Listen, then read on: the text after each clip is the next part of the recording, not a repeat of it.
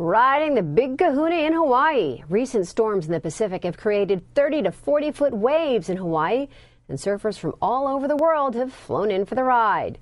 But as you can see, the bigger the wave, the bigger the wipeout. The surfers on Oahu were practicing or competing in the Quiksilver Big Wave Surfing Contest that's held in memory of Eddie Aikau, and it's held only when waves hit at least 20 feet high. The waves, though, were so fierce that even after the contest ended, lifeguards closed beaches to swimmers as a precaution. For MSNBC.com, I'm Dara Brown.